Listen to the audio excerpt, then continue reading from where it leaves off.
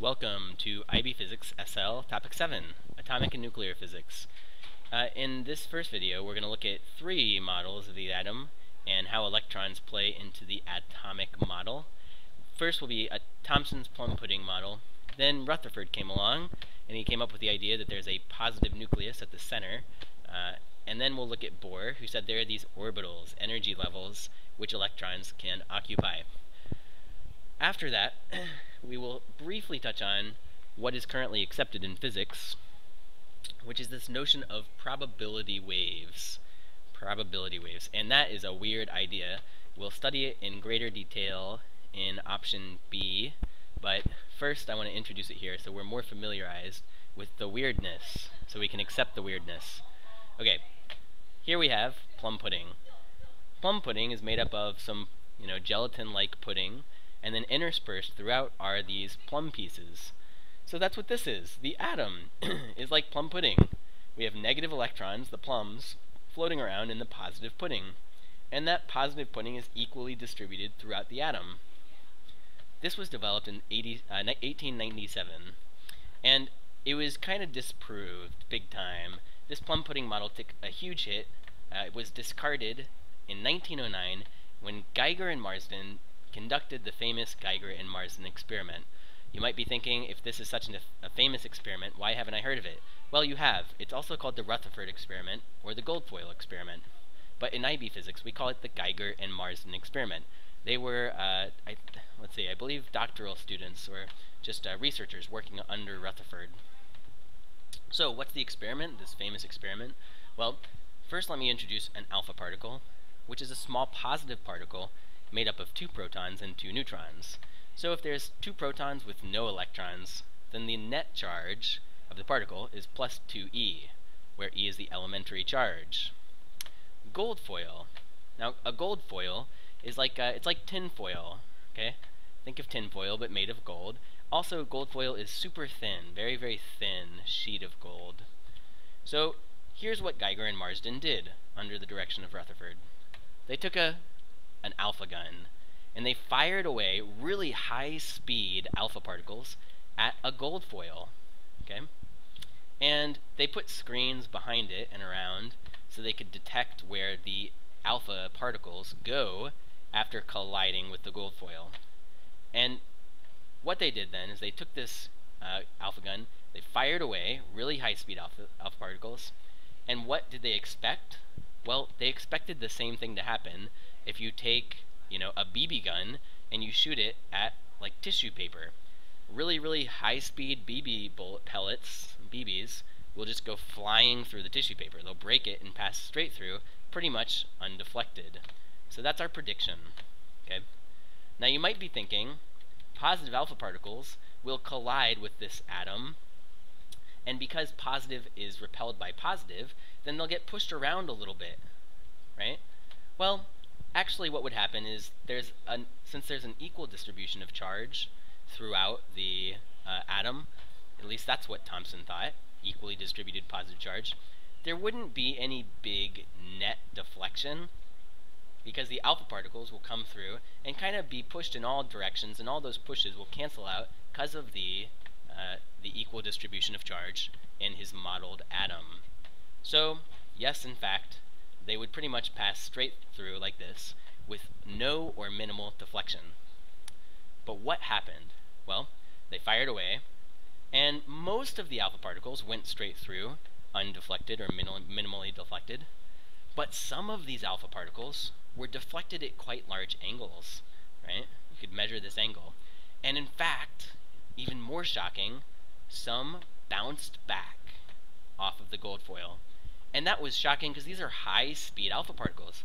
It's like shooting a gun at tissue paper and having the gun come back and hit you in the face. Because the alpha particles went in all these different directions at all these different deflected angles, sometimes we call it alpha scattering. This is an example of alpha scattering, this experiment, because okay? they scattered. Now, here's how we draw these angles. If an alpha particle comes in like this, it comes along this path, well, it approaches the gold, and then it gets pushed away, deflected off like this. Right? To draw the angle itself, we extend the straight line of its original path, and then we find the straight line of its final path, and we extend that back to this line, and we measure the angle here, d for deflection angle. And you see that if the alpha goes forward and then bounces back like this, which is shocking, that's a deflection angle of more than 90 degrees. In fact, that's an, a 180 degree deflection where it goes and then bounces back. We could measure the angle as 180 here. Um, so what we can conclude, what can we conclude? Well, if the alpha is coming along like this and then gets pushed away, repelled, there must be some dense positive charge somewhere down here repelling that positive alpha from its original path. And likewise, if it's coming forward and then bouncing off, there must be some really dense, really, really dense positive charge right here, causing it to bounce away. What we now know is that these positive charges are called the nucleus. Right? And I just wanted to show you, you might think, uh, well, here's another example of a deflection angle of greater than 90 degrees, but less than 180. It's where it comes over and then bounces off like that. Right? That's another example of the kinds of high deflection angles they saw in the experiment. Here's a great quote from Rutherford talking about this, you know, bouncing back. He said, It was quite the most incredible event that has ever happened to me in my life. It was almost as incredible as if you fired a 15 inch shell, or a bullet, at a piece of tissue paper and it came back and hit you. On consideration, I realized that this must be the result of a on consideration, I realized that this must be the result of a single collision, and when I made the calculations, I saw it was impossible to get anything of that order of magnitude unless you took a system in which the greater part of the mass of the atom was all concentrated in a minute nucleus. It was then that I had the idea of an atom with a minute massive center carrying a positive charge. Right?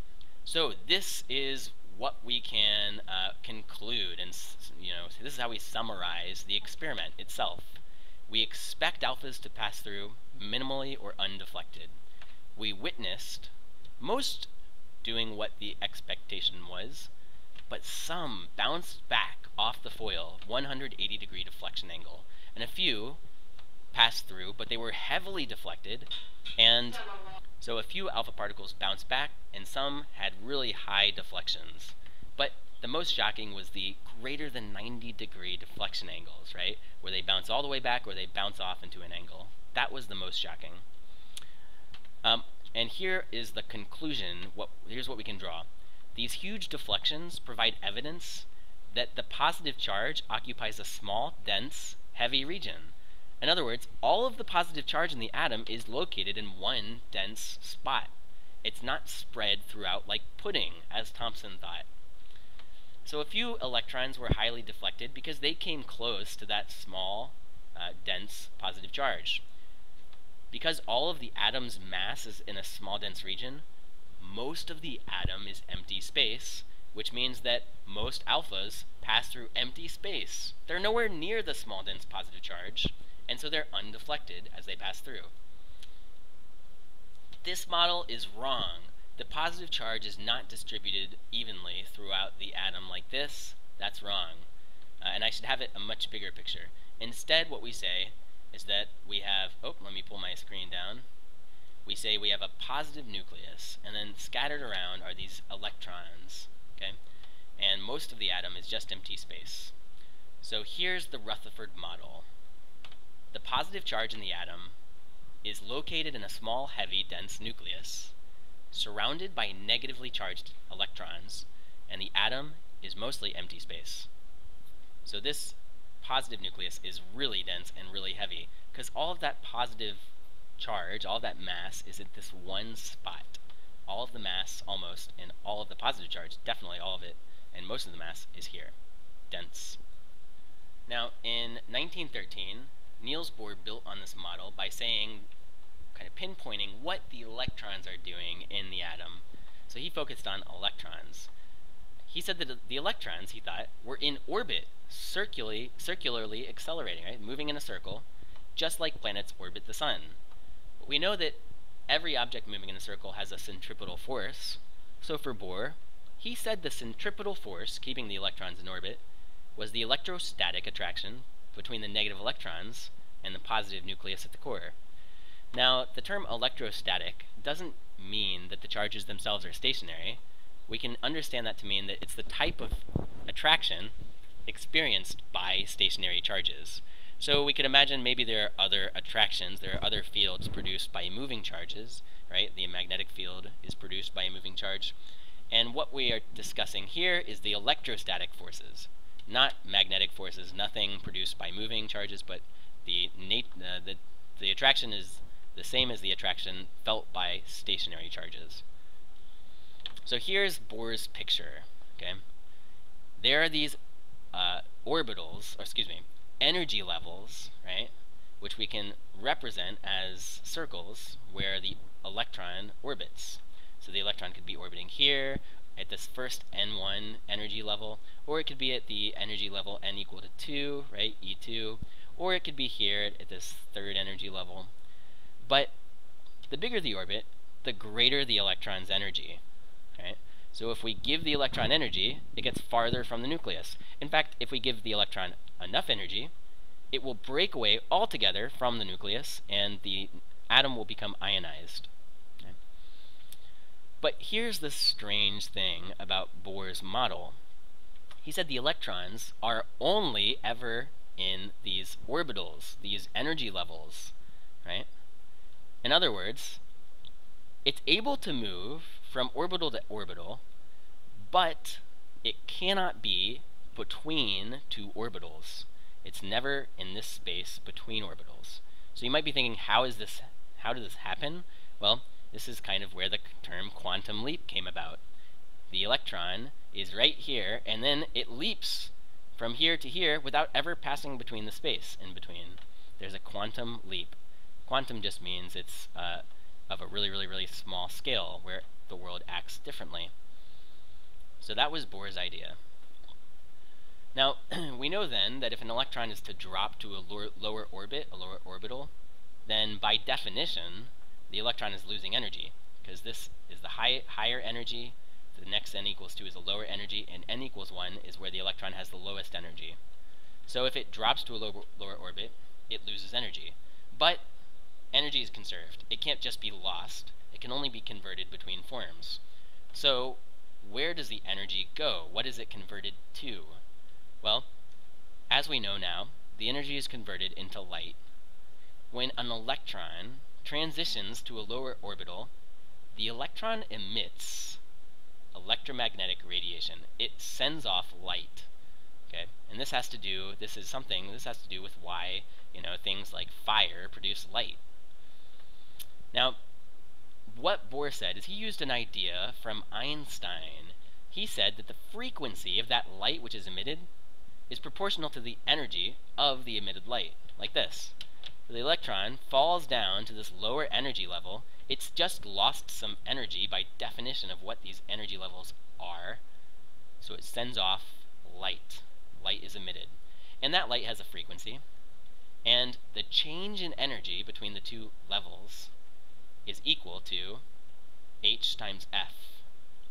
So what is h? Well, h is just the proportionality constant in this relationship. It's a universal constant that never changes, and it's called Planck's constant. So here's the value. There are the units. Incredibly small. But this is a very, very special equation.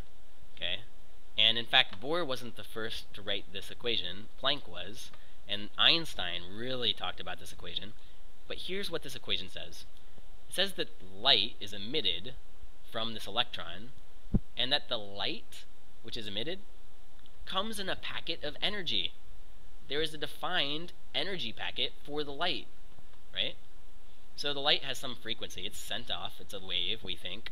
But that wave comes in an energy packet. And here's the amount of that energy packet. It's calculated using this equation.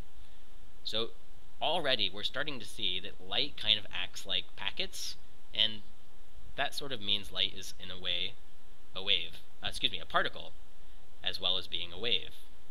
So we'll discuss this more in a later unit.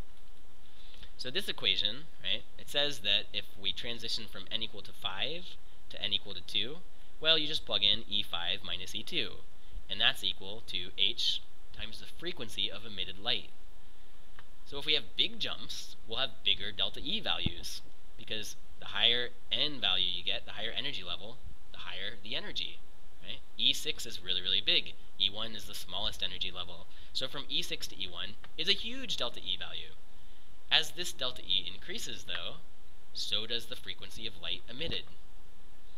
And blue or purple light is the highest energy light, which means it's also the highest energy of, uh, it's the highest delta E value. So if you see, for example, a flame, and it's a blue flame, then that blue light indicates that there are big energy jumps occurring.